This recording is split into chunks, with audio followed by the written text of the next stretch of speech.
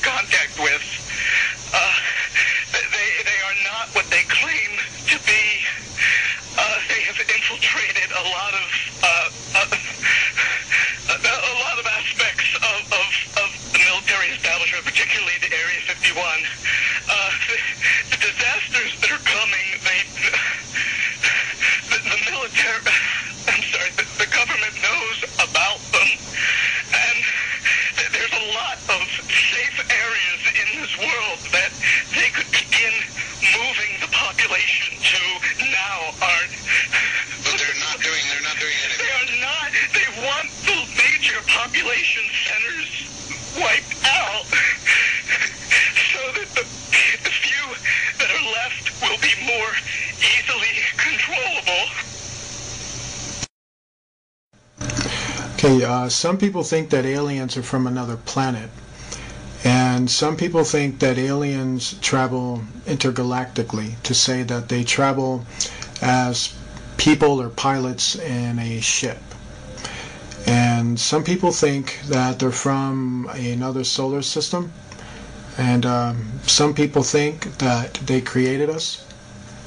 And so some people think that they're here to bring about a ancient knowledge that mankind lost or something like that. Some people think that Christ is one of these individuals in a human thing or a human uh, disguise. There are a lot of different beliefs in regards to them. And one thing has been proven true is that these beings have been deceivers since they first got here. And every time they told a ruler or a person that they came from a planet or they came from a society and that they were created under a different God than we would know, it has often been shown to be a lie. Um, they seem to also change the story of their origin, and history has shown that over and over again. And what I mean by that is to say many times when people thought that they were on another planet, turned out that under hypnotic trance, through hallucinations called either holographic images, they were meant to think they were on another planet. Some of them have literally woken up in the midst of having this technology operated on, and they realized that they were actually in a laboratory room. And unfortunately, when they realized they were in a laboratory room, they realized that there were human beings in that room, and there were actual, real Nephilim beings in that room. They realized that they were not on a planet, but they realized that they were somewhere on Earth, and they were in a secret place where they were being experimented on. Some of them are actually using ships, real technological ships, to kidnap people. That does not qualify them as coming from another planet, as the way they would define it. So let's let's understand a little bit more evidence on that. Let's go back to the intergalactic thing, okay? If they're from an intergalactic world, Let's say they're from nine solar systems away from us. And they were from a technological world that is nine solar systems away from us. That world would be far more present than non-existent as we're in that state now. Meaning the traffic would be so heavy that you would see it. And you would clearly see it all the time.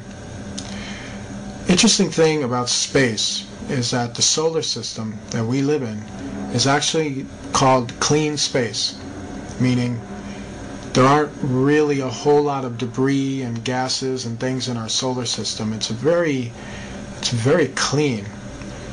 But the solar systems that are around us are filled with very dangerous gases and they're filled with strange anomalies, um, weird type of rocks.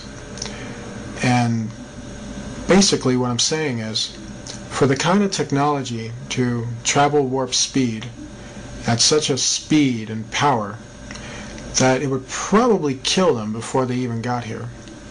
The gases would definitely ignite with nuclear energy sources. This is why deep interstellar travel is not possible. Because the more and more further you go out into space, the more and more dangerous it becomes to travel. So if there was intergalactic activity going on, where people are actually blasting themselves from that solar system over to here, the traffic and the accidents and the explosions from these accidents would be so magnificent that they would be seen from Earth. And so we don't see anything like that. Not anything like that at all. And let's say they manage to get through the uh, gases and the rock formations and everything else. Let's say they develop some type of technology where they could actually do that. Still, what you don't factor in is that you will see them coming before they even got here. And the whole world would actually see them coming before they even got here. You don't see that. So that debunks any theory that they are intergalactic. Also, if they created us, then who created them? You got to recognize that the universe is far bigger than a alien, as they want to call it. And these aliens do not have appropriate explanations for these things. They ignore these questions.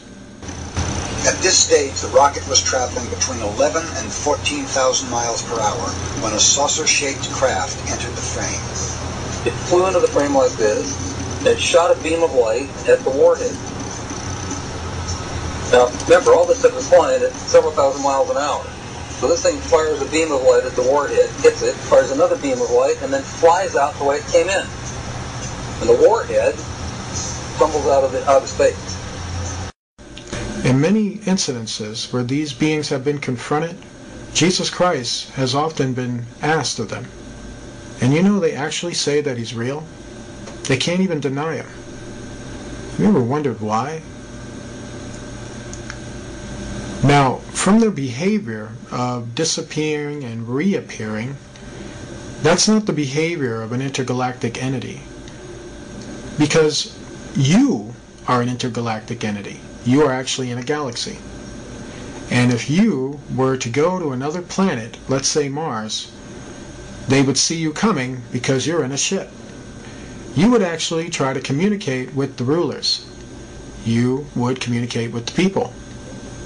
They would see you coming down from your ship in a normal intergalactic travel way. Have you ever seen these entities do that? Absolutely not. They just seem to appear out of nowhere. And they always want to have very secret meetings. And they're very good at hiding from the people. Have you ever wondered why? When these entities have been under investigation, when we watch them come in and out of our world, we've watched them literally open a portal in the sky and go into it and then come out of the same portal.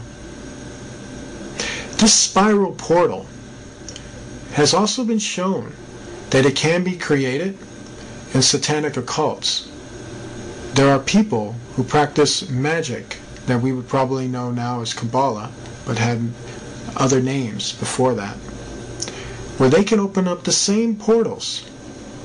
And not open up the same portals, but they can call up entities that look exactly like aliens. But yet, they don't call them aliens. They call them evil spirits. And they say that Christians would call them demons. But yet, Independence Day, The X-Files, all these shows want you to think they're aliens. The truth is out there, and they're not aliens. You ever asked yourself, why would they want you to think that, though? You see, if you think alien, you don't think about Jesus. And when you think alien, it makes you doubt Jesus. And when you doubt Jesus, guess what happens? These aliens run right over you. They take control of you. They possess you. They do terrible things. They're not your friend. They're not my friend. And they're not the solution to the human race. You see, you probably heard that they tell the human race and the rulers that you need to make peace and you need to end your weaponry and stop killing each other and stop doing these harmful things to each other and we'll help you. But yet, what you don't told is that these aliens also want our help too. How is that? How is it if they got things together, why do they need our help? If they're so superior, why do they need us to disarm?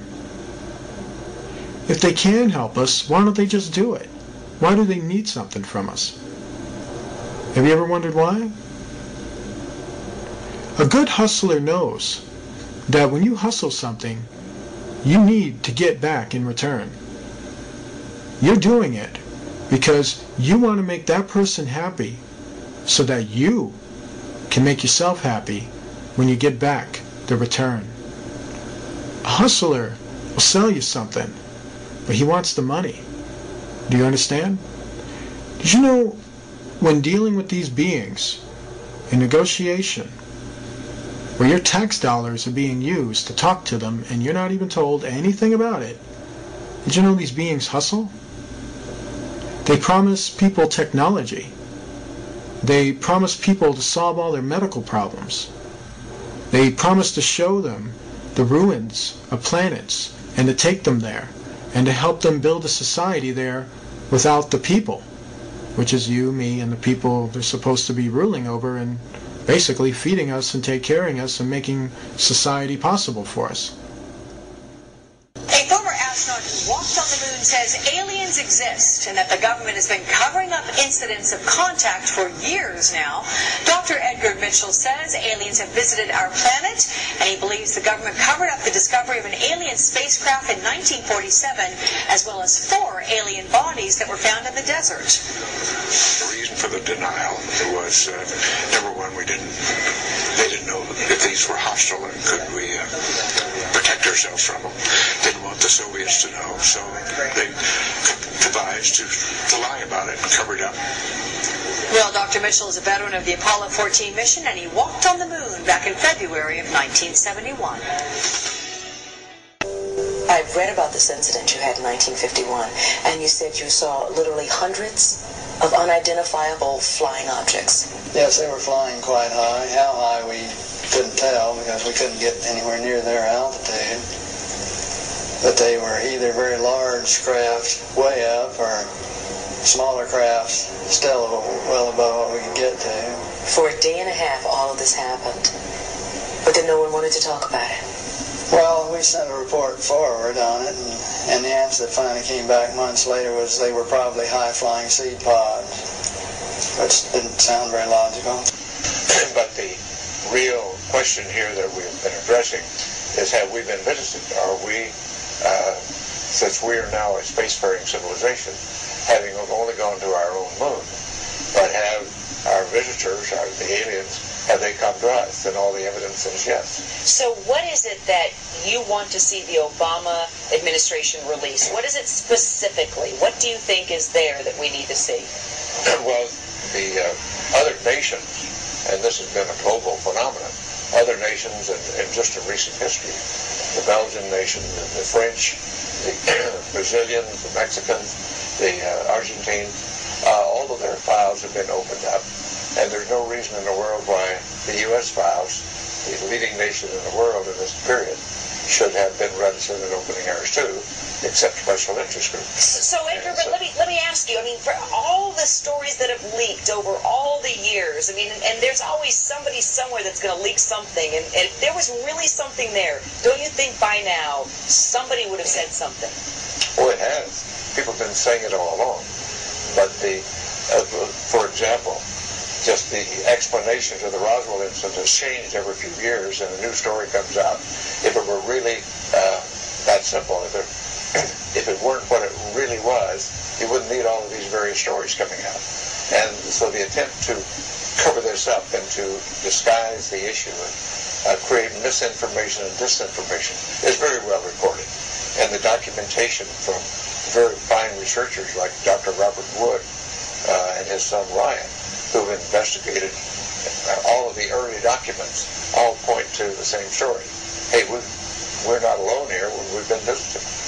There's a monolith there, a very unusual structure on this little potato-shaped object that, that goes around Mars once in seven hours. When people find out about that, they're going to say, who put that there? Who put that there?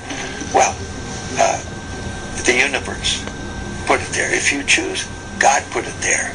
There's a monolith, monolith, monolith. Okay, so what we have here with certain fallen angels is that they have the ability to transform, and a lot of that was exploited in, in the Transformer series movies and um, and in the Transformer cartoons. And so what they did was they based that off of something that was real. And so what we have with fallen angels is not what people think. It's not the uh, touched by an angel version with these guys. Um, these beings are spiritual beings with incredible powers, and one of those powers entails that as we would create objects and as we would form these objects through resources and through the uh, materials and the powers that we have, their powers is, is that they can transform themselves into objects. And so we're talking objects that look like um, space age vehicles and planes. We're talking about objects that basically uh, look like other entities. They can transform into a creature. They can transform into a ship. They can transform to even look like the implements that we have. They can literally transform themselves to disguise themselves as a car, as a plane, and as a lot of different type of objects. There's really nothing they can really do in, in terms of transforming. We knew we do know that when it comes to the fallen angels, they don't have as much power as they normally would in terms of their transforming abilities, but they do have them at a very good uh, length. So um, they're not uh, totally depowered. And so a lot of them like to transform into ships. A lot of them like to transform into certain objects. A lot of them like to transform into basically UFOs, basically planes, basically other looking creatures. And uh, sometimes it gets sporadic. You know, sometimes they kind of you know, from a lot of the transforming and using the powers that they use in our dimension, and it kind of weighs heavy on them. You know, they can't always maintain it.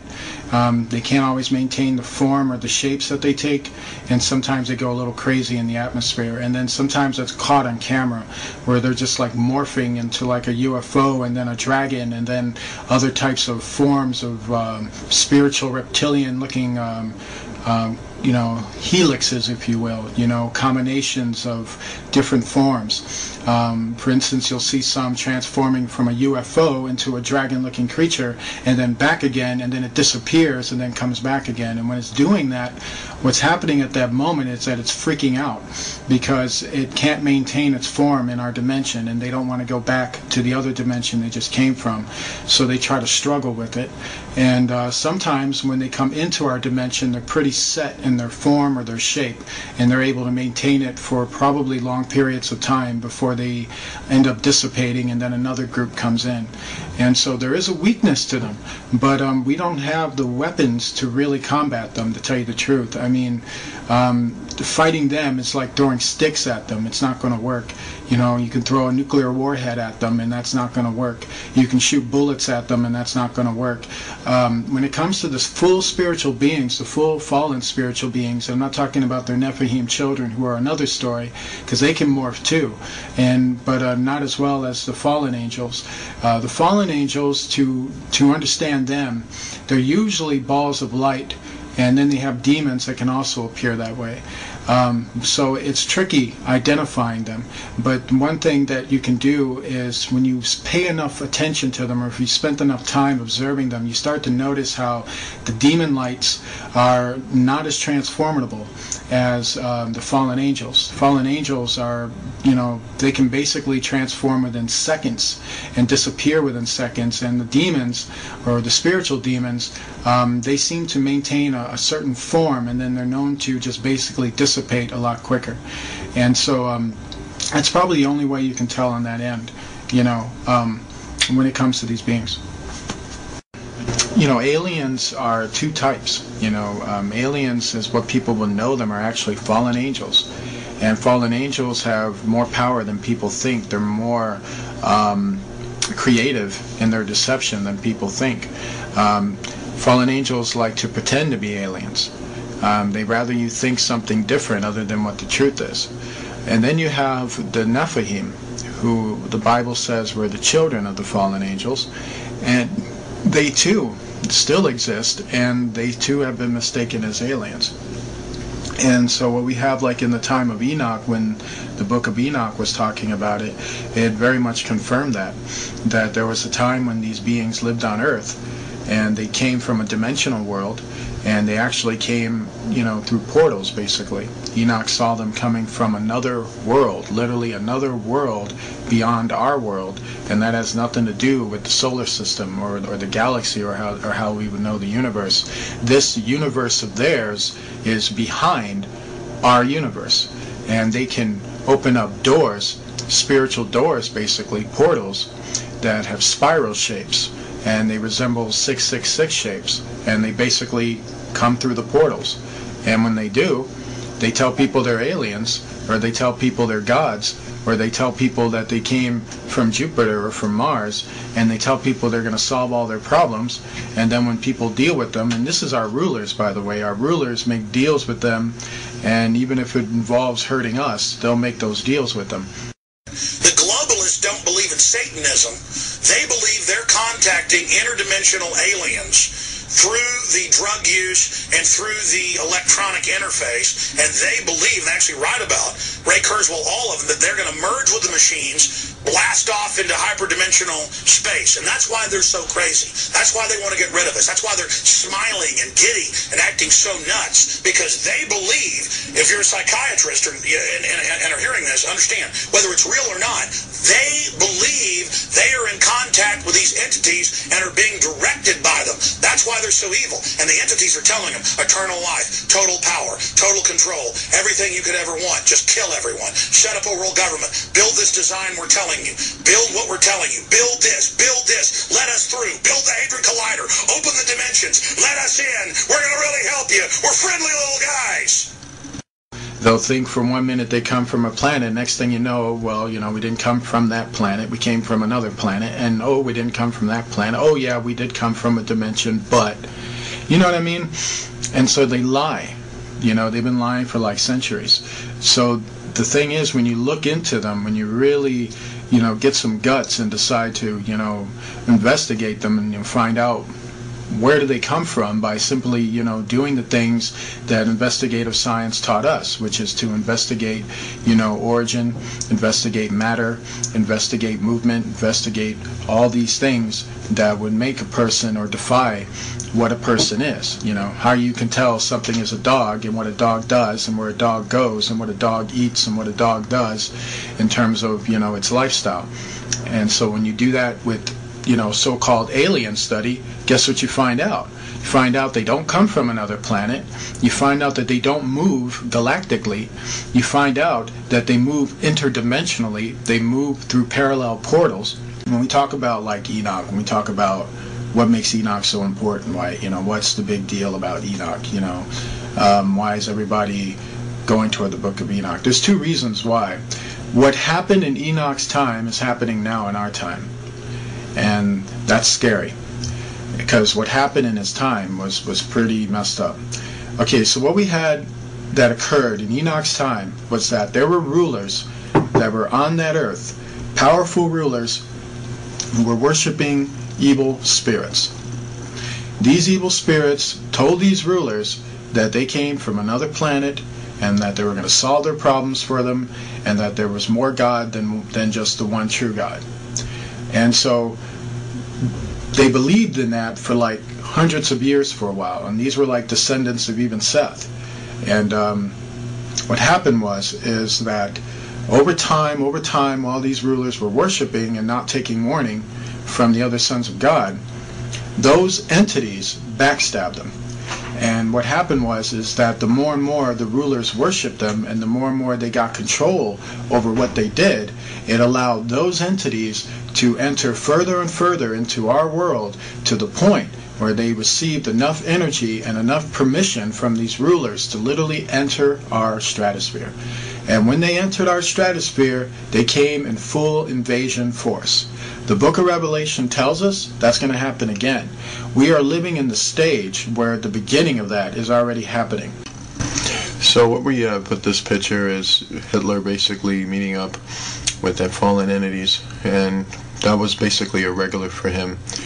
He had a very large interest in basically following them and basically communicating with them and basically talking to them. And these beings were, you know, very much uh, part of the plan and the destruction of World War II. You'd be amazed at the fact there's a lot of attacks in World War II that they actually took part in that history tries to cover up or tries to bury. I mean, if you look back at maybe 15 years from 9-11, so many people will have a different uh, view and a different um, explanation to that. But when it all comes down to it, the Bible tells us that fallen entities are involved and our leaders, and our leaders shake hands with them and greet them and, you know, are happy to see them. Hitler is also very much involved with the 13 council members, and so he's very much a guy who reports to them. And there was this is one picture that you're looking at right here. This photograph was actually snapped, I believe, during um, an attack at uh, Antarctica. If kid you not, um, Hitler didn't die in 1945. He actually died later on after World War II because he was hidden in that base for a while. This was a photograph that was shot of one of the UFOs, if you will, one of the Virginia uh, aircraft carrier, aircraft planes that attacked an aircraft carrier. Right before it decided to unleash a, a hail of missiles on it, uh, one of the soldiers snapped a picture of it. And, um, you know, these are the things that you got to really wrap your mind around because when you don't wrap your head around it, you know, you're going to get very caught up in it. This is also the same deal. Um, what you're looking at at the bottom with the heat source is very much the um, the fuel injection of the plane and or the Virginia. This is also another photo shot of the Virginia. And what you're looking at right here is kind of what I'm talking about here is some of the um, engineering components of some of these Virginias. Um, they have a uh, circular fusion type of um, power and it's right at the center of the Virginia. And um, basically, um, fusion that's basically using um, type of nuclear fusion with water, and basically sends it into a lot of hyperactive speeds. And um, it's just very, very advanced, and it just show you just how advanced we were in World War II, which would even implicate to you now just how more advanced we are now and how so much of that is not shown. And what you're looking at here is, is another case of that. Um, you can see how sleek they build these Virginias, and you can see how well they've gotten to the point of building them. Uh, they're nowhere near to the point where they used to be, but um, they've gotten there now.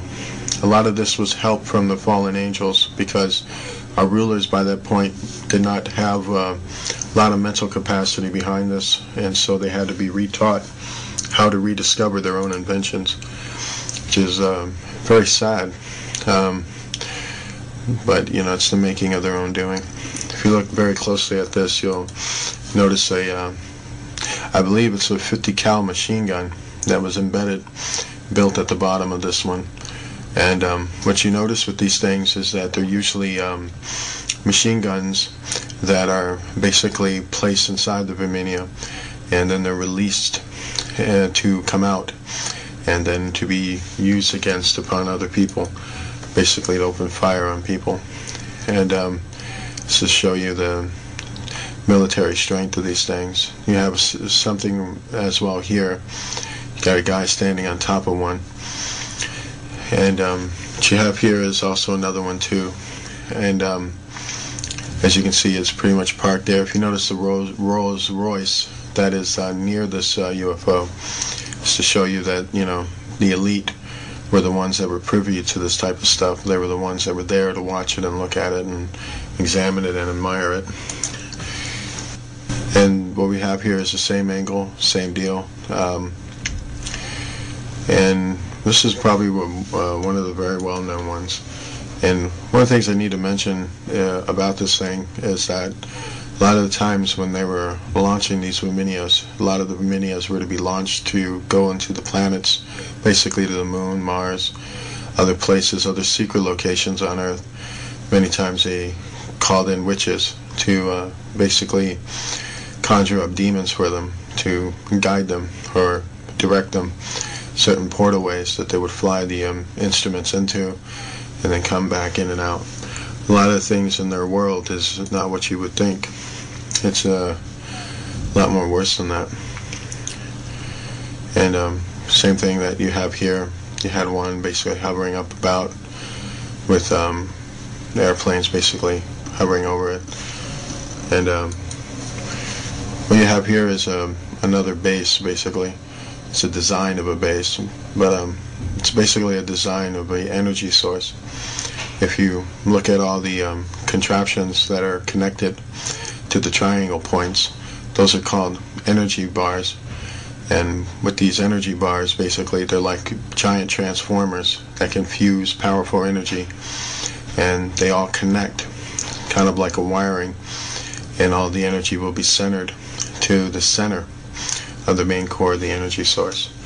And um, what you're looking at here is what they used to do with pyramids a long time ago. And now they've invented these circular type formations. And um, all these things are about energy sources and advanced technology. This is also a blueprint of a Verminia, how to build one and um, how to construct one. You'll notice some things about it. Verminias usually are about they have basically three levels or three floors. You have a top level where um, that's where the operations, flying, things like that. And uh, you have a bottom level. One is for laboratories. Another, well, laboratories will be right at the bottom, and the middle sections are their homes, basically where they sleep in and where they um, where they rest. And uh, this is a model for a really big giant one. This is the Nazi base, and um, what we have with this base, it's very old. It was built and the, starting building construction on it was in the 40s, late 30s to the 40s. And um, right now, it's um, one of the most advanced uh, colonies on the moon. It has technology that would literally blow your mind away. Um, right now, there's about two million people living on there, on that base. It's actually a city, and it's very, very big, very huge you have literally advanced space age technology there. It's one of the last things left of the of the Reich Empire of Hitler. It's now part of the Rothschild Illuminati colonies, and um, they control it right now.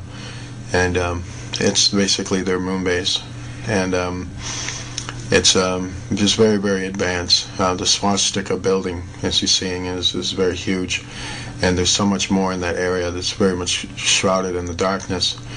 But if you were to get on the ground level, you'll see just how huge and massive this thing is and just how big it really is. The top part of it is a huge uh, satellite on top and um, just very, very advanced, filled with aircraft hangars and all kinds of other advanced technology there. Um, basically, they almost live in a Star Trek world there. Um, it's quite interesting. What we had here with the astronauts doing this was that they were setting up mirrors, and what they were trying to do was, they know that in the occult that um, certain mirrors scare off evil spirits because they don't like to look at themselves in a mirror, which is another reason why evil spirits like to appear as the host or or some other entity or person. Their real true form is so horrifying that it even horrifies them. And so that was the aim at setting up the mirror. But the mirror was so, I would say, it's so amateur. You know, uh, they were basically using folding mirrors, and um, just wasn't a smart idea. I think it was just more done out of panic. You know, one of those things you do where you're so scared, just figure out the next thing to do. And what you have here is the same deal. They were basically on a base, and um, they're in basically a, a facility that's mostly underground, but it has a few bases on top, a few housings on top. The government really hates this picture. Um, they hate it for a lot of reasons, um, because um, it's too real. you notice the golf club there, and that was from the fact they were playing golf at the time. You know, basically to, I guess, I don't know, to relax their nerves. When they were told to get off the moon, they found it absolutely offensive that, offensive that they actually came up there to play golf, which is why Americans are not welcome on the moon because they're considered to be ignorant and um, they're considered to be rude. And, um, you know, I haven't seen anything that could tell me otherwise. This is like uh, another shot of their getting confronted by fallen beings. Notice this pit right here. They were basically filming the, the animal life underneath the caravans of the moon. There's a lot of species on the moon. A lot, a lot of people don't know that. Um, there are beings called selenites who have wings. There are reptilian creatures that are under there. They resemble small little, from what I understand, they resemble small dinosaurs or, or small dragons. They're very, very small.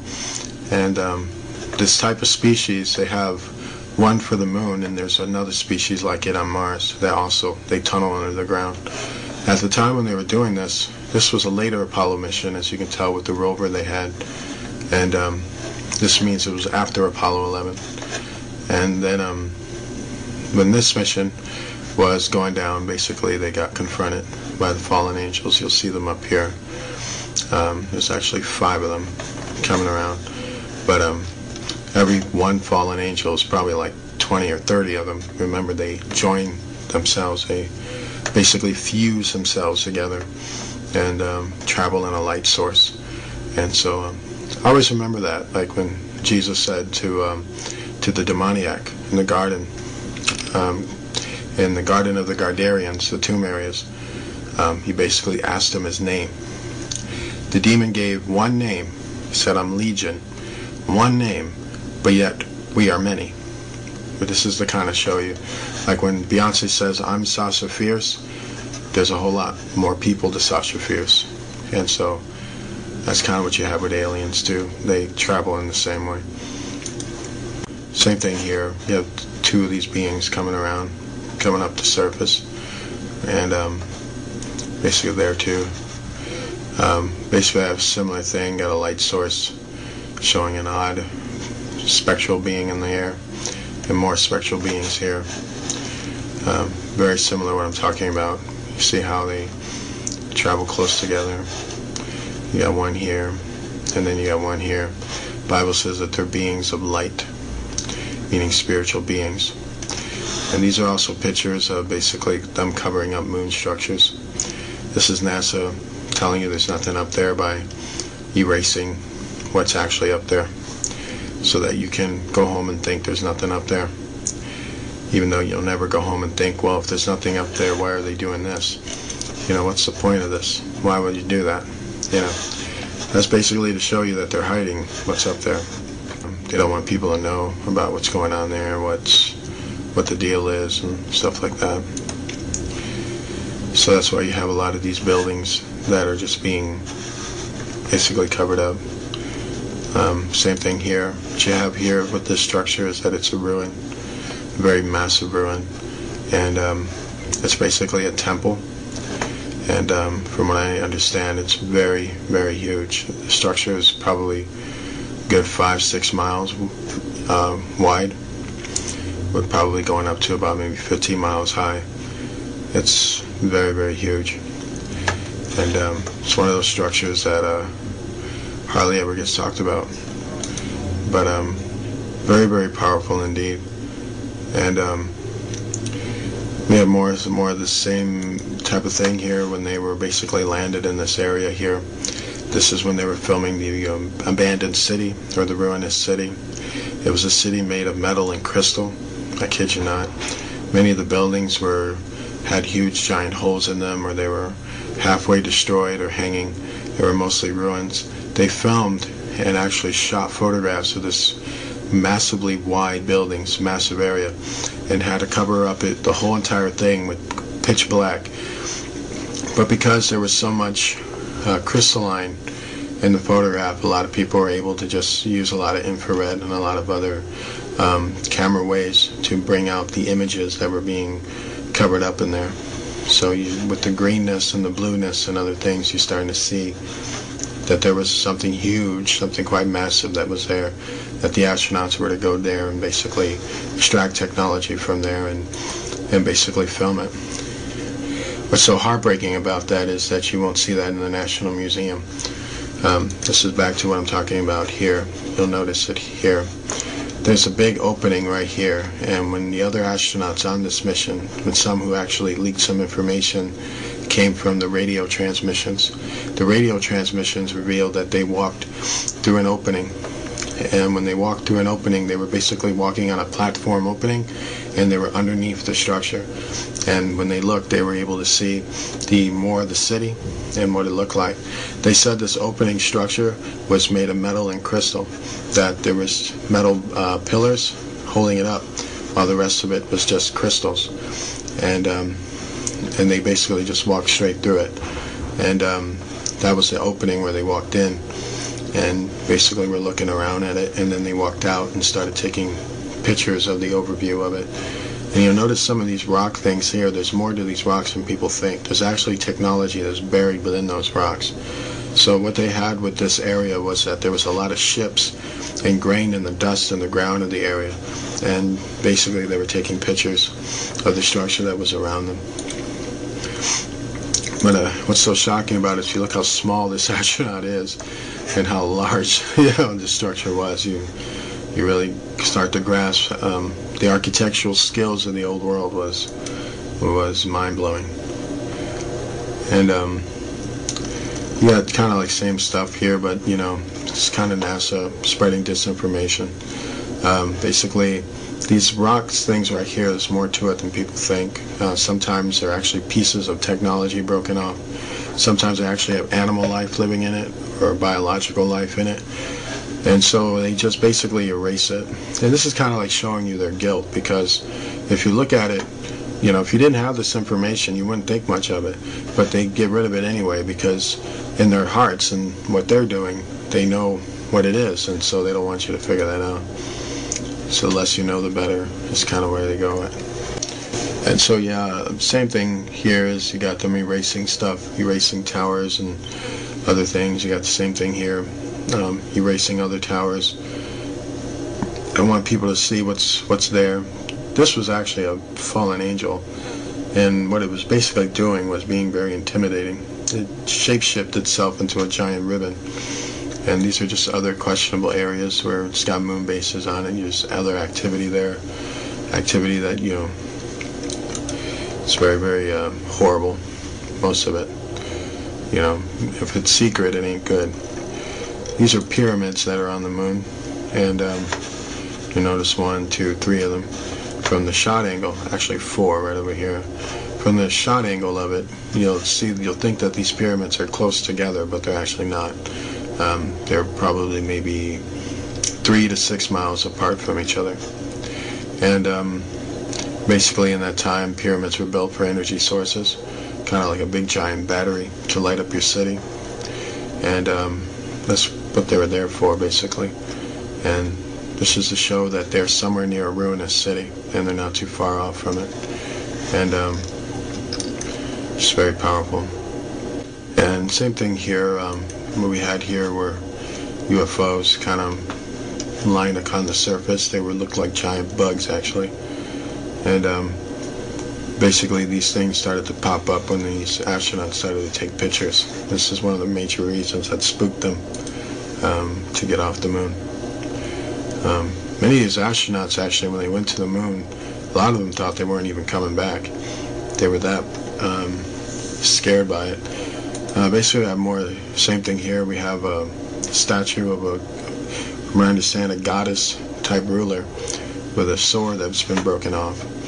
We see the, the handle of the sword here and you see its blade and right over over here.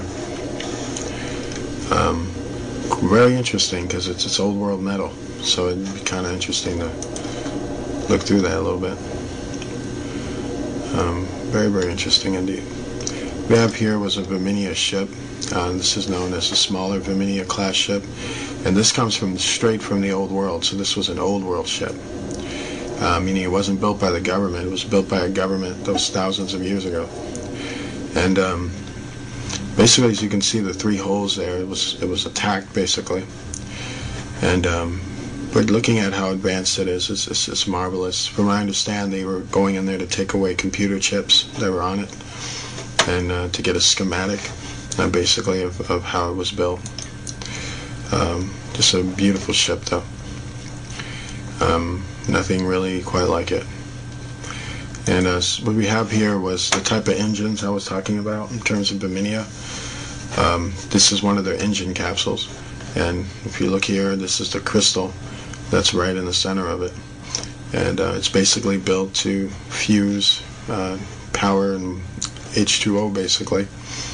And um, they fuse it inside this crystal and basically it's used to power up an entire ship. And so this is why they came to that area because they knew what was there and they were trying to uh, extract the technology. And um, what we have here is basically a pagan altar built on the moon. Um, quite interesting. Uh, but um, this was from a long time ago. And um, basically that's what they did.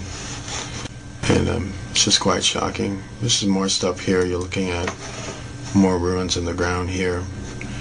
And um, looking at a just a kind of oblong structure, really. It's if you look at this blue thing right here, this is actually what they couldn't completely cover up. But um, this is to show you that, that massive uh, blue crystal city that we just got through talking about.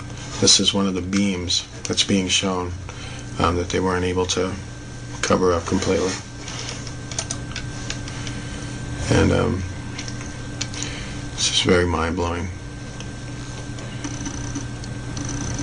And uh, this is kind of showing you what they really covered up in this photograph. Um, this whole area right here has an abandoned ruinous city on it.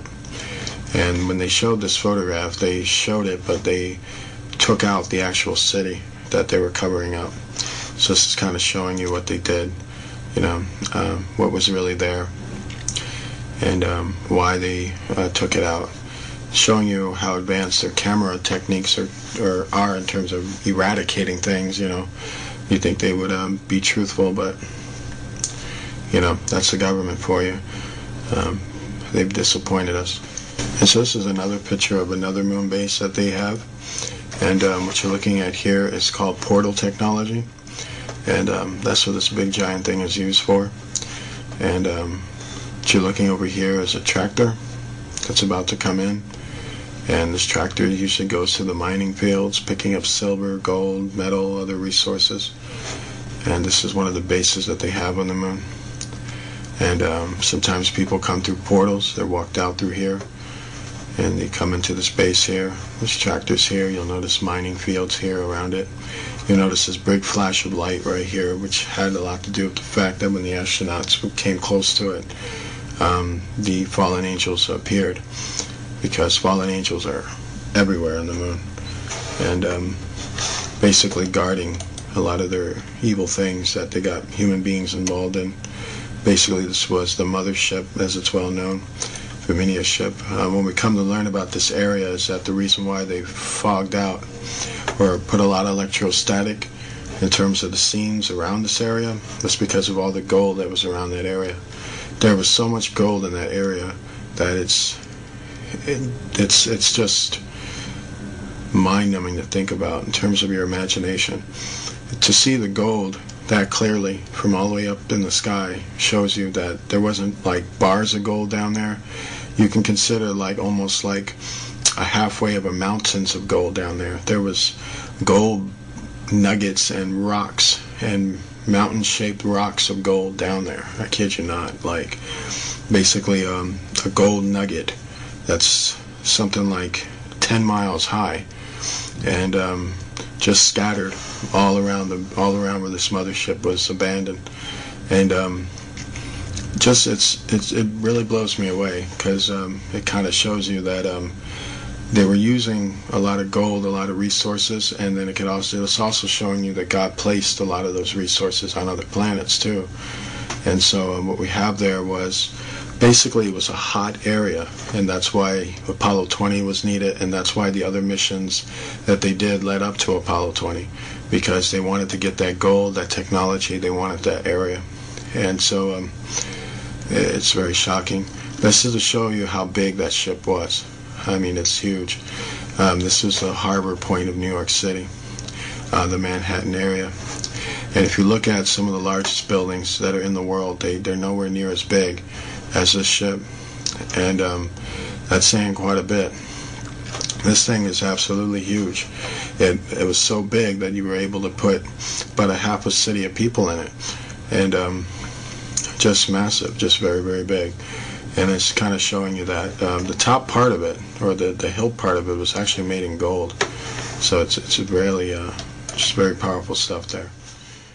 All right, so what we're looking at here is called. First of all, from what I understand, it's an old world structure, and it had something to do with basically a meeting ground place, if you will. Um, if you ever gone to an airport, Usually the first thing you go to when you go to the airport is that you go to the airport building. That's what this was. Uh, basically, it was a place where people gathered when they were about to take off. The Germans discovered the ruins of it, and so what the Germans did was is that they basically remodeled it. And when they remodeled it, they used it as a base of headquarters when they were extracting um, resources off the moon and when they were building an underground base on the moon. So years later, after the Germans built the base, they abandoned um, the this post. And uh, when they abandoned this post, uh, basically they went underground. And then years later, the astronauts came here. And when they came to this specific area, what the Apollo 11 mission was about was to spy on the base, on the moon base of the Illuminati and not just spy on this base, they were also supposed to take resources off that area. Apollo 11's mission was to do reconnaissance. Reconnaissance is, is that you're going to film an entire area. You're going to spy on it, basically. And you're going to find out what's there. You're going to find out what you can pull off real quick, what kind of tactics you can do through the surveillance of the area. And that's what they basically did. They were assessing what they can and cannot do, and they were assessing what was there. And so that's what this whole Apollo 11 mission was about. It was about filming the ruins, filming the resources, assessing what you can do. And so that's what basically was going on here. And what we're looking at with this structure is that it's a very huge structure, by the way. It's about two, it's a two-story structure, but it's very long, it's very wide. And um, when you go directly into it, into what they're doing here is they're going into the front door basically. And when you get a very good look at it, you start to see what I'm, what I basically mean here. You can basically see there was a time where basically what you're looking at is the inside of an airport, if you will, but a space age airport. There was a time where people would be, well, basically they'd be lined up over here, over here, and you got these other buildings and other rooms where people basically would have had their office, if you will, and you know, there was more to this uh, structure. A lot of it was destroyed, but there would have been a lot of um, technology around it. So by the time the Germans got to it, the Germans would have just remodeled it, you know, uh, put some new structures on it to hold the building up and things like that. Once it was abandoned, it was just, that was it. So you'll notice some things about the, the walls of the building. You notice that they're very bright. You notice that when they come in with the camera, it seems like the whole thing seems to illuminate. That has a lot to do with basically the walls. The walls are made out of alabaster. Alabaster makes things glow, kind of like uh, marble does. And so, from what I understand, this structure was a combination of, of alabaster and marble, and kind of like a white white stone, if you will. And so that's why it has a very type of eerie glow. This is one of the astronauts walking. Uh, we believe this was Buzz, actually, with Armstrong filming. And uh, if you take a good look, you notice some things here. You can see kind of what I'm talking about. You can see how this is an old world structure with some new structures in it. But this is kind of like an old world kind of uh, line, if you will. It's a place where people lined up.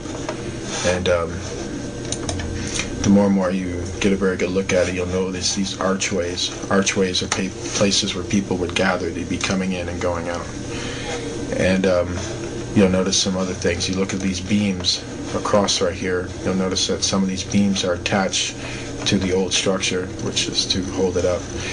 And you'll notice the ground is very broken up, and that has a lot to do with the destruction that uh, the building went through or was basically hit with, you know, a long time ago.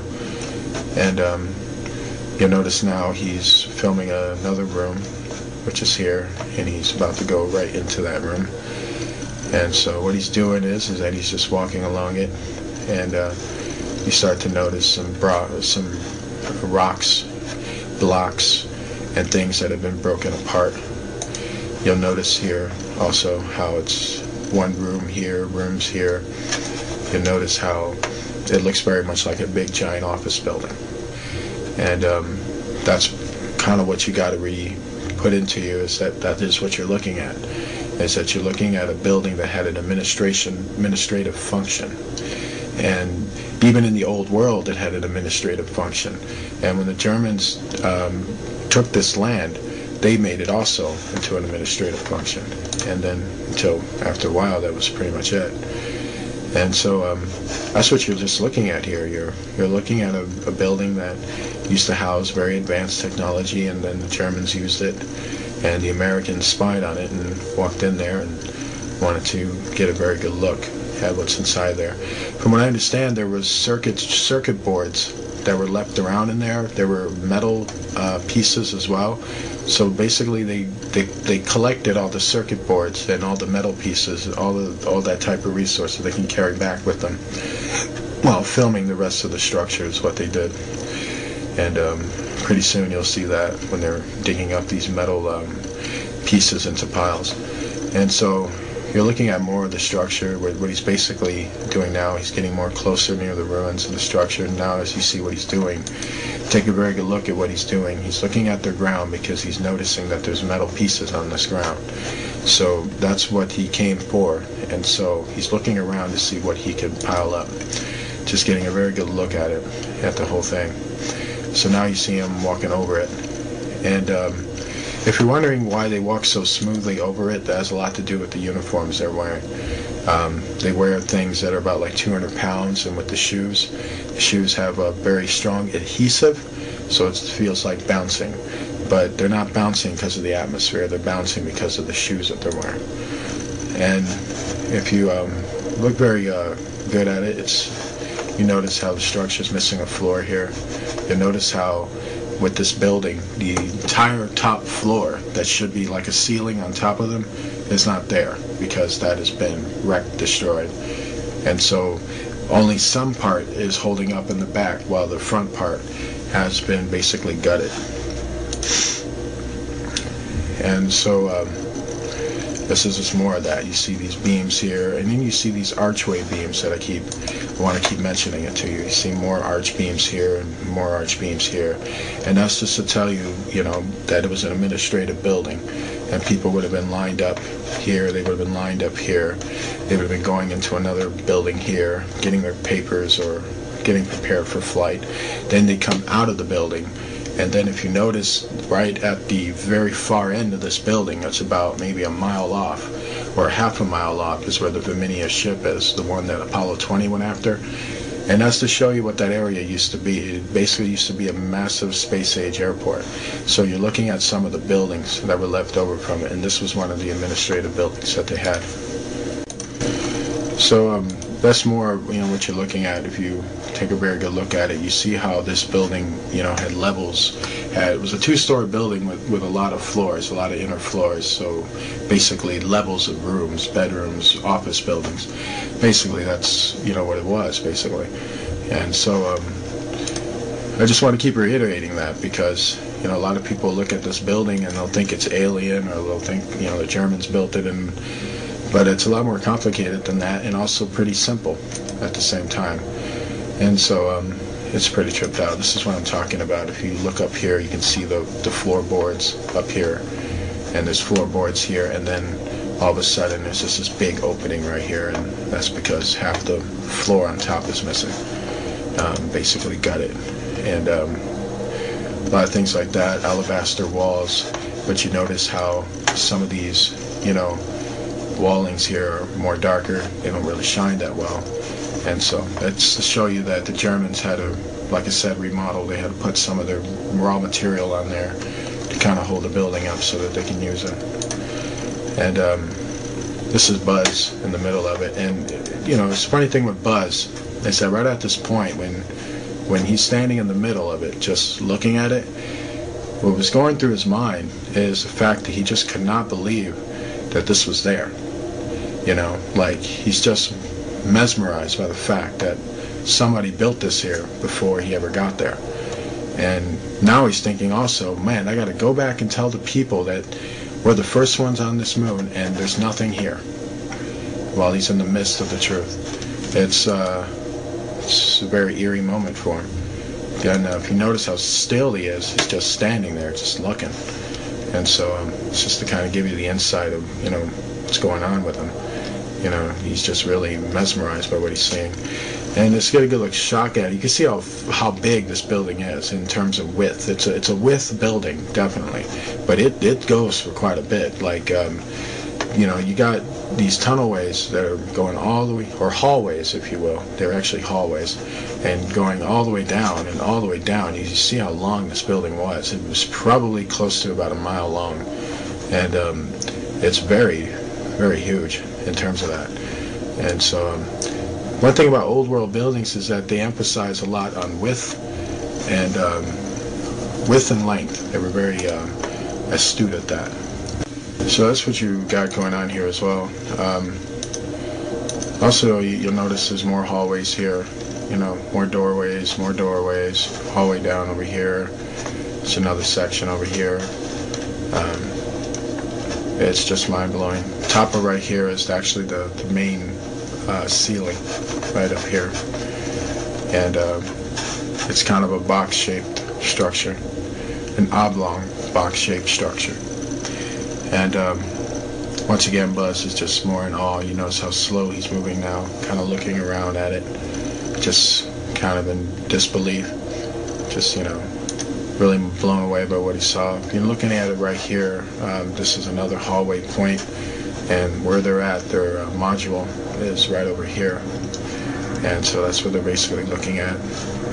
And uh, you notice how the how this room is designed. Um, it has a very interesting type design. You know, um, the design is very interesting. I, every time I look at it, um, I can tell with old world structures, um, they were very into being creative, and so, um, but not too far off from what we would build a structure as. It's kind of like the the same style, uh, same format of, of how we build our buildings. So it's very powerful stuff, and uh, the more you get a look at it, you know, the more you're really floored by it. Okay, so you'll notice that they're on the outside.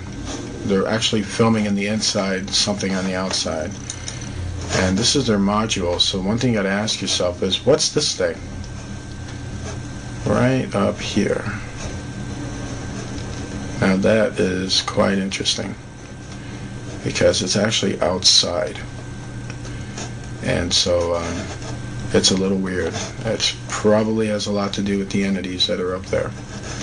And um, they did describe that the entities were hovering on top of their heads. So um, that could have something to do with that. Um, very, very weird indeed. And uh, that's probably why he's filming the module right now, because he's getting worried. Okay, this is what I was talking about in terms of picking up metal fragments and circuits. Now, if you notice of what he's doing, if you take a very good look at what he's doing, that's exactly what he's doing. He's collecting up circuits, he's collecting up wires, and he's collecting up metal pieces. And he's basically piling them up so that they can basically take them out of there. And that's what Mr. Buzz right here is doing. Um, he is uh, basically trying to uh, pile them all up together. And um, quite interesting. And um, reason why it's dark there is because there's just no, not enough light. And uh, this is a, a com computer composite of what the structure looks like if you uh, take a very good look at it. It's very, very big. And um, you can see how it's just a big, massive, long, two-story administrative building. And uh, just very, very huge. And uh, quite, quite interesting indeed. And uh, that's just to give you a very good look at what you're looking at. And um, there's just so much about this, you know. Uh, this is a piece of the second floor ceiling. It's broken off there. You'll notice some things on top of it. It's kind of circular, like um, blocks and stones on top of right here. We could that could have more of a function than we think. We could be looking at a piece of a broken off machine. And um, it's just amazing. You know, uh, very sad when you look at it too, because you know you realize certain things, and you know you realize what we lost due to sin, due to rebellion against God. We cost ourselves quite a bit, and um, you know the Earth is is temporary. Even the planets are. None of this stuff is going to last. You're not going to see this stuff in eternity. And uh, believe me, you don't really want to. The place is haunting, by the way.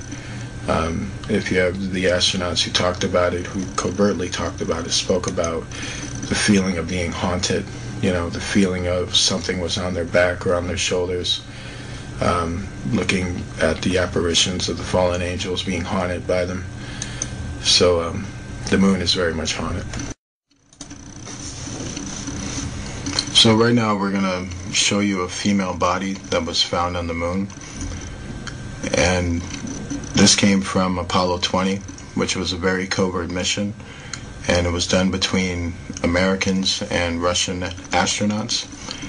And this mission was the last known mission to the moon in terms of the American involvement of it. And this is the body that you're looking at right here. And You'll notice some things about the body is that you'll notice these tubes that are connected to her eyes and her mouth and to the center point of her head. These tubes are actually flying devices and they are devices that are attached to the neurons of her mind basically. They had a technology back then, a long time ago, where they were able to pilot things almost seemingly using their mind, but they were using technology that was attached uh, to their mind to send out a, basically a particle ray to operate computers that would lift the ship into the air. And so basically that's what you're looking at are, are piloting devices that are attached to her face. And if you get a really good look at her, you'll notice her skin is very much in place. The people in the ancient world lived for a long, long time. That means that their skin texture was far more powerful than ours, meaning they didn't decay as quick as us. As they lived for thousands of years, it would also take thousands of years for them to decay. And so that's why her skin is still intact. Also, the fact that where she was, it was highly cold. She actually was frozen to death. So when you add that in in there, it pretty much you can see why her skin is very much attached. And there's other things you'll notice about her.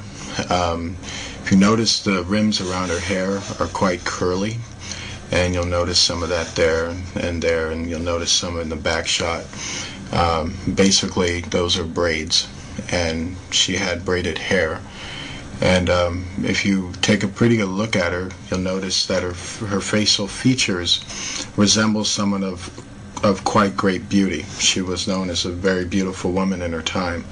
She is also the pilot of this ship, and her body was the only one that was intact at the time when they found the other bodies. They found other bodies next to her, but they were in pieces. She was the only one that was intact. We got a very good look now at this implement right here. We can see a piece of this technology which is attached to the center of her head. And you can see how the tubes are all attached to the eyes and then attached all the way to the bottom. So what you're kind of wondering is, is that what she's doing is, let's say when she's piloting the ship, she's giving commands with her mouth. And those commands with her mouth are then being fed into the tubes into her brain. And what it is, is that there is a machine that is attached or can send a signal from that machine all the way into this device in her head which would then send the commands to the ship, sort of like being on a cell phone and talking on that cell phone and powering the whole entire ship through it. Um, very advanced communicative technology. Uh, so advanced it makes a person look like they're psychic almost, but there's just technology. And that's a very good look of the device here and here. And um, this is just mind-blowing technology, just very mind-blowing. You got to really wrap your head around it. You know, here are more of the braids that are pretty much frozen. Her whole entire hair was frozen in, and um, you just really got to wrap your really got to wrap your head around it.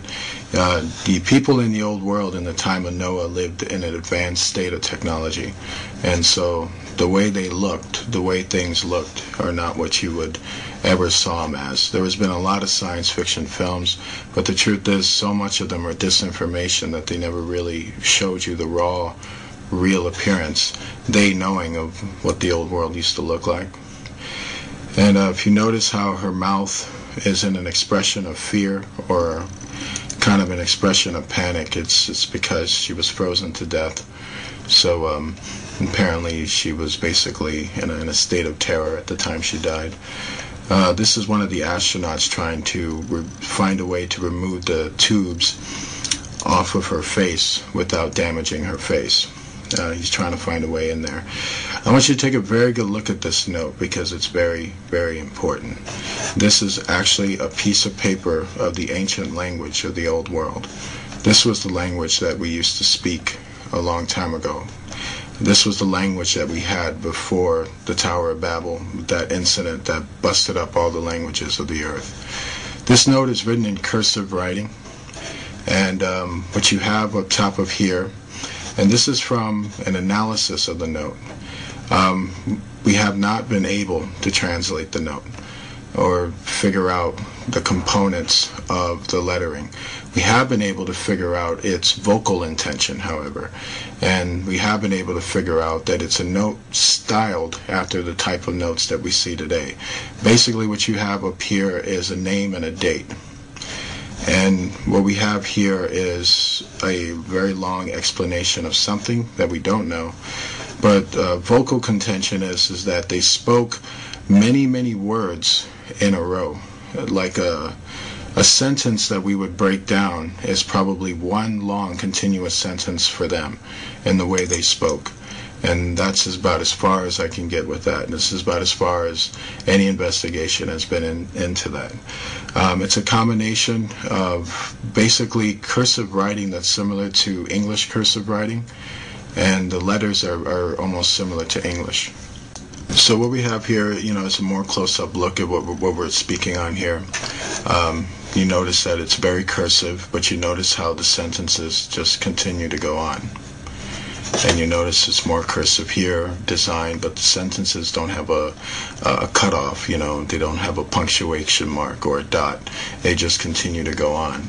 And they continue to go on. Then you have a more type of high signia right here, and then it continues to go on. This is to show the kind of language they spoke, how those they spoke continuous sentences. You know, as we would stop or pause, they would continue to go, and um, their whole entire language was almost like a song. You know, um, this is done in song. Songs do this. When a person sings a song, it's it's a continuous chorus. It's, it's just going on, and you understand what the song is. Their language was similar to that, and um, it's just very fascinating. Um, I wish I was able to tell you more. I wish I was able to translate the, the whole thing, but we no longer speak this language, and so that's why we're not able to. The paper is green, by the way um, which is quite interesting. Um, they factored color, different color paper back then. And this is black ink, by the way. And an interesting tradition says that it was Enoch who came up with black ink. So that's kind of interesting. Um, you know, there would be telling people tell you they didn't have black ink back then. Tell that to this piece of paper. And so um, this is it's quite interesting. This is another note that, that was found on it. And um, the interesting thing that we found out with this note was that there was three people who signed off on it. Um, here, here, and here. Um, all we know is is that from analysis is that the, these could be names and a date, and another message here. And um, the funny thing is is that these notes were like found all throughout their bodies or where their bodies were at um, it's a sneaky suspicion that they were writing their last will and testament. And that's what these notes could have possibly been, because they're very eerily found where the bodies are. And they seem to have just been scattered, like something real bad was coming down on them, which was the effects of the flood. And one of the things uh, people will observe in terms of what people do when they're about to die is usually they write things and they say goodbyes and stuff like that. You know, for all this note writing, I guess they never thought to pray, you know. They lost faith at that point. This is uh, more of what I'm talking about. This is another note. So far, you've seen uh, three different notes so far. And this is another piece of note um, with the same deal. Um, just some long sporadic writing that we're seeing there. And what the astronauts did was they put all these notes in these Ziploc bags that you're looking at here. These white bags that you're seeing right here is the bags that they use to put the bodies in. And um, basically they're just sorting out the notes and filming it for NASA's viewing pleasure, basically. And um, but when you're looking at this, um, a lot of people look at that and go, "What exactly is that?" These are computer circuits, by the way. And these are actually very advanced computer circuits. These are circuits that have been attached to a blanket. I kid you not. And apparently this blanket was draped on the pilot, actually. Um, this uh, part right here is, is some of her um, lower body. And um, the um, covering was here, where her stomach is, and this right here was part of her leg. And um, for some reason, this covering was on half of her body. And um, it's believed that it may have something to do with there's two theories on it. One is is that the covering is some type of computer circuit board that's used for the ship. Another one is is that it's an example of transhumanism technology. That this daughter of man, this particular, this specific female, had cybernetic implants in her, and one of that was this type of covering that was on her leg um, which which is telling us that the technology back then that they achieved in terms of cyborg technology was very real, and this is a piece of it that's on her. And much of the transhumanism doctrine that's coming out, with the connection to what happened in Noah's time, very much supports transhumanism rather than it being a device that's part of a piloting function. And it's mind-blowing technology, by the way. Um, it's hard to know exactly what it did for her when it was attached to her. This is a more close-up shot of it as you're looking at it. It's it's hard to know what it exactly did for her. Um, there's a lot of theories. You know, it could have increased um, strength or speed. Um, it could have um, done a lot of different functions like that, and those are usually the main functions: is to increase the strength of a human being by using cybernetic parts. And that's what all of this stuff is, basically. This is a more close-up shot of it, and it, it's it's just it's mind blowing. It's unlike any circuits that you've ever seen or known. These are circuits that are far more advanced than what you would ever have known. Um, then they work far far better than anything you can can think of in terms of what we're dealing with now or what the government will have you think um, that we're dealing with now. This is a more close-up shot of it to get you to really wrap your head around the circuit board of it.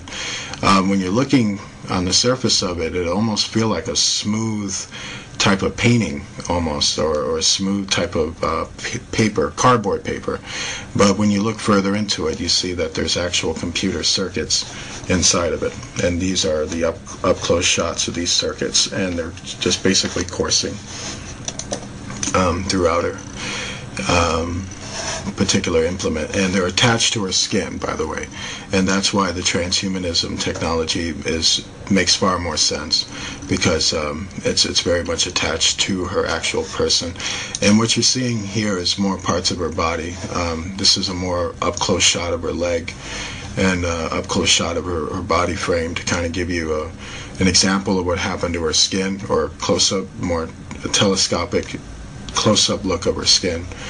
And um, basically you can see how it's you know it seems like instead of decaying it's chipping.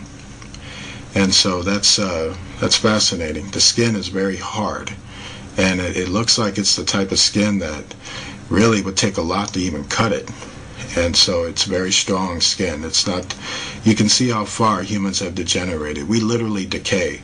Um, we don't chip away um, but back then they chipped away before they actually decayed and uh, fascinating. And uh, what you're seeing here is her co-pilot, and the co-pilot's head was severed. And so um, what you're looking at here is the severed head that they found.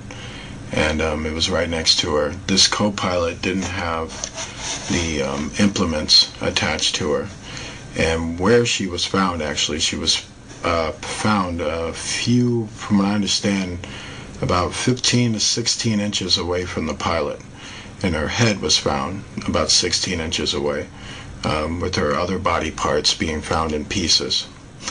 Um, one thing you got to understand the astronauts' impression of it when they came onto the site of it, the Apollo 20 crew, was that they felt that a violent incident took place um, at this time because the body parts were in pieces which hence that they were hacking at each other toward the end of it. The pilot seems to have been preserved for two reasons. She may have been the captain and having privileged knowledge, she may have tried to get away while this was happening, and um, but basically wasn't able to escape. The meteorites that blew open onto the moon caused a freezing on the moon. That basically, if anybody who didn't get taken out by the blast was going to get taken out by the freezing effect. She seemed to have survived the blasting effect, but got caught in the freezing effect, which happened pretty much simultaneously right after the blast.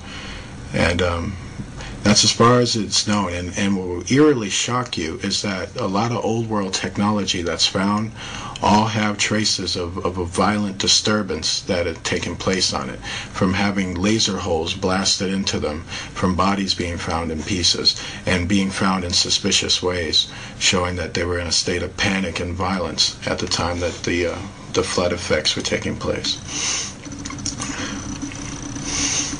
And um, so much of that is you got to really wrap your head around that that uh, these people were living in a very violent, violent society. This is an after shot of when they removed all the tubes off her face. Um, right now, they basically got her on Apollo 20, and so this shot right here was basically to show you the after shot of when they had it all removed. Um, they had a, a female doctor who was with them as an astronaut, and she was the one who removed the, the tubings off her face. And um, key things to note is, is that when they removed the tubes off her face, they said that this ooze, this type of eerie ooze was oozing out of her eyes and out of her nose. Um, they believe that those that might have been part of the cartilage of her brain and the flesh of her eye. That um, you know, at the time when when she died of the freezing effect, it affected the circuits, and that would have fried the inside of her um, organs in her brain and her um, optical eyeball. And so that was the oozing stuff that came out. And that's why they don't open up her eye because there's nothing in there basically. And but we get a very good look at what she looked like, and uh, we can see she was a very beautiful woman um, when she was alive. Um, she has very voluptuous lips and all that stuff. She's she's she's gorgeous. Um, a friend of mine kidded me and said that it looked like Angeline Jolene. uh, but I disagree with that. She looks better than Angeline Jolene. Um, what we're looking at here is the natural mark that's upon her head. Um, it's said that the, the daughters of, of Cain, or Canaanites, or people who descended from him, had uh, deformities or specific marks that registered them as being Canaanites. And so this is what we're looking at up here. Uh, you'll notice that it's a cross formation, actually. You can see here and here. And so there would have been one here and down here and there's a serpent form right here. And um, it is believed that this is the old world mark of the beast. And at that time, um, from what we understand, she was born with this mark. This is a mark that's actually born upon her. But there were some who were actually taking a mark or a tattoo mark that had two type of components. It was a digital chip that was tattooed into your skin. Um, but much is believed that this is um, her natural, um, you know, something she was born with, basically. And um, and it's quite sad. What we're looking at here, if you want to know who she is, she is a daughter of man, as was registered in Genesis, meaning she is a descendant of Cain, and she was a witch and a old world uh, pagan who was a advanced pilot, and she flew a mothership. And she is a member of the Rama Empire because the ship that she was found in registered to have been part of that old world empire in terms of the technology that was found. And um, she was found intact, as you can see. Uh, you'll notice some damage here on her face, on her cheek here. And um, this is all chipping, by the way. Her face is starting to chip here and um, you'll notice some of the kind of the chipping on her lips and things like that. And um, and you notice just how well her face looks. You can tell that when she was alive she was a radiant looking woman but she was also quite an evil woman. From what I understand about the daughters of men they weren't they weren't the type of women you took home to mom if you know what I mean.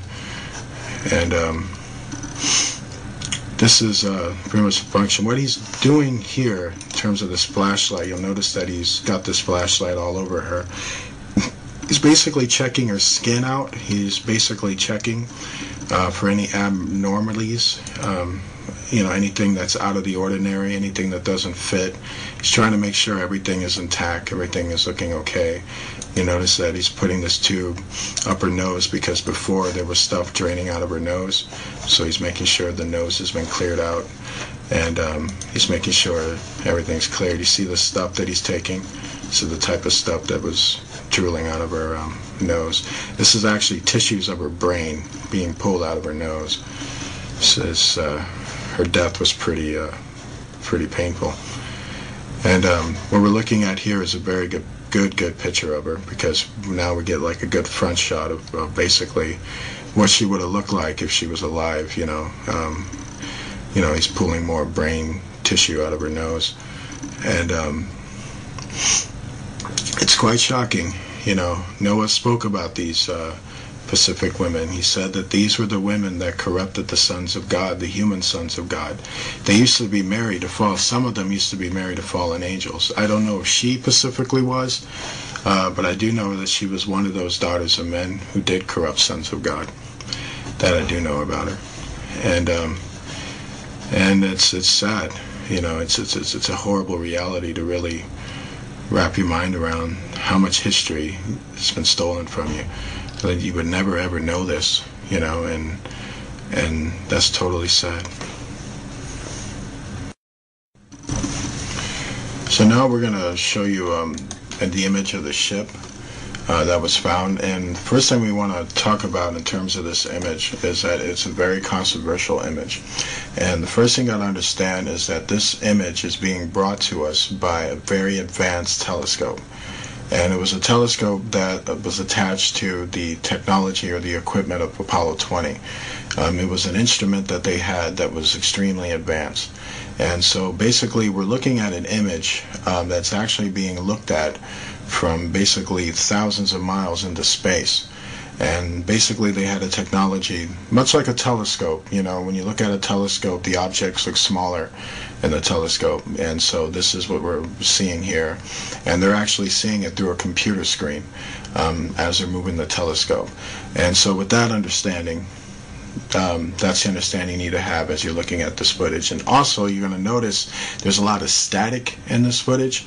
That was actually done by NASA. And I'm going to tell you why you'll see that static. And if you take a very good look at it, at what they're looking at here, you'll notice how the ground is shiny. In fact, it's very, very shiny. In fact, it's shining yellow. And that's because there's a lot of gold.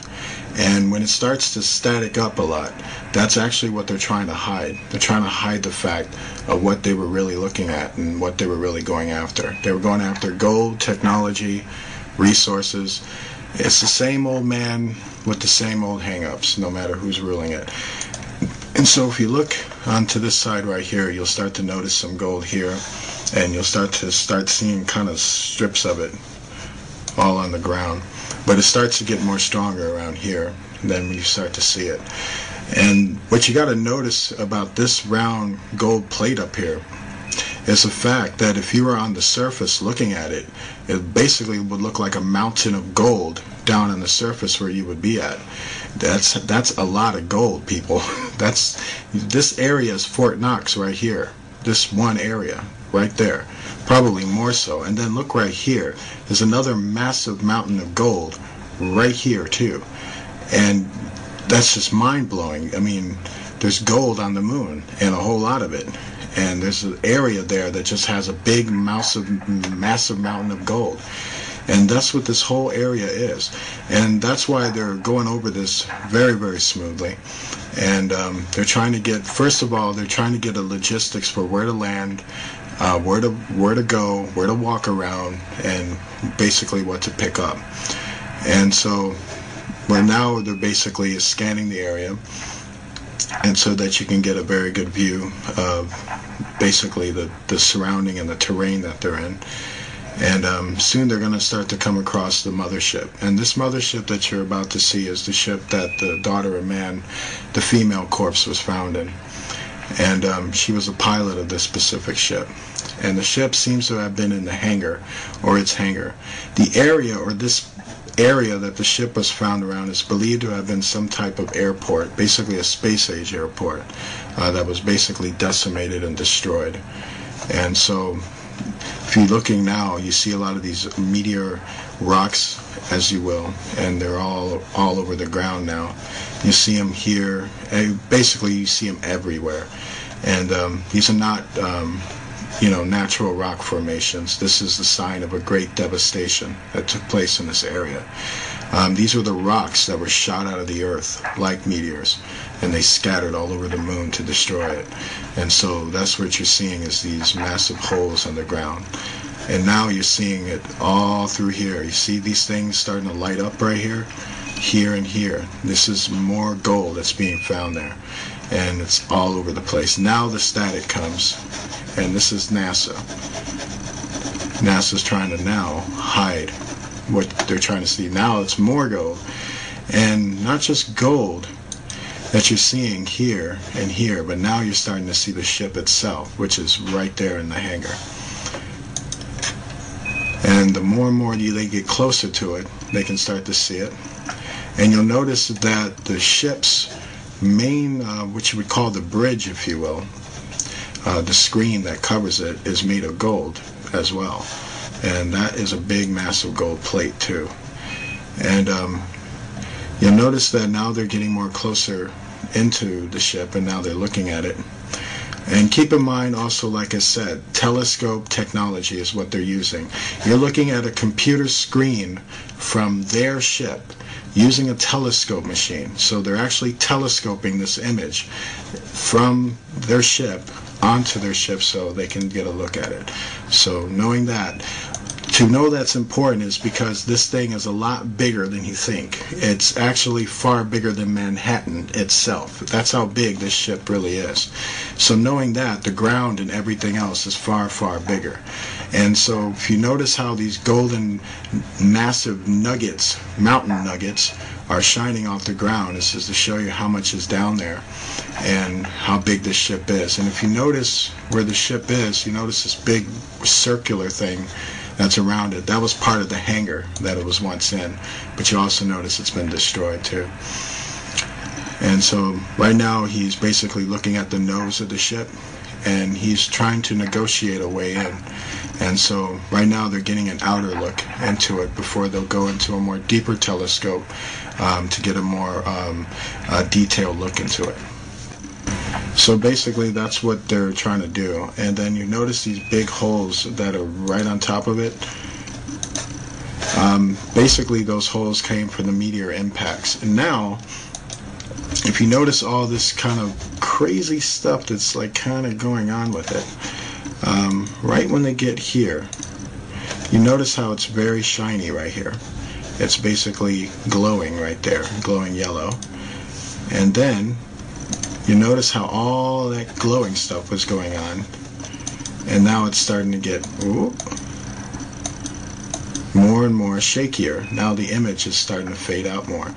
This is uh, also a NASA trick too and what they were doing was is they were trying to cover up all the gold that was on that Pacific type of um, mountain area that was right above the hangar uh, where the ship was. The ship was inside the hangar, and at the top portion of the ship, all along that land there, were just massive mountains, uh, massive mountain nuggets of gold.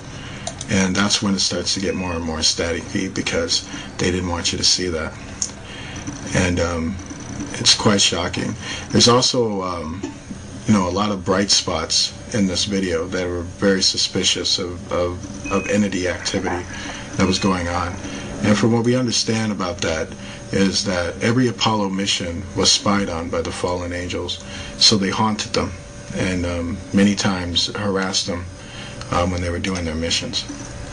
And so you're noticing more of it. You see more of these kind of gold contentions here. And you see right there right at these areas right here. They're just kind of scattered all through there. And it starts to get more and more foggier. But you start to catch it when you start to take a good look at it. And then right up here too, it's more and more glowing. A lot, a lot of yellow golding glow. All of that are basically massive gold pieces and with the light the the basically all that lighting that red blue lighting that keeps happening every time they focus the camera over there that was NASA's effect on that basically trying to cover up um, what the camera was catching. And so that's why it's basically glowing all those reflections. We want to thank you for watching our video. And we want to leave you with um, basically this important information about the footage that you just saw this footage is very, very important because this is the footage that is going on in the world. This is the world that you don't see. These are the things that go on in this world that you've either been lied to about or the right information wasn't brought to you and a lot of those things. We did these videos for two things. One, to show you that they're real and also to explain it to you so that you can walk away with the proper information about what you're seeing. These entities are real. They are hyperdimensional beings who take many different shapes and forms. Our government has lied to us about them since since they showed up, and um, every world power has dealt with them at one point or another. And every world power has also lied to their citizens regarding them at one point or another. And the world that we live in is not quite what you think it is. And when it comes to our history and our past and the threat that we're dealing with uh, right now, that was the threat of the past. Um, basically, if you don't know your enemy and if you don't know history, you're doomed to repeat it. And it's best that you wrap your mind around the truth of what you're seeing and understand that it's real. And we're affected by it each and every day. And we're always close to it each and every day. Um, it's a time to basically reflect on what you saw and reflect on your faith in Jesus Christ because he is king of that world that they come from and he has everything in place. It's a time to really take what you saw and realize that the Bible supports this. This is the reality the Bible's been talking about. And this is what you've been denied in church. Church should be teaching you this stuff. But instead, we have to. And we hope more people will teach others. God bless you and good night.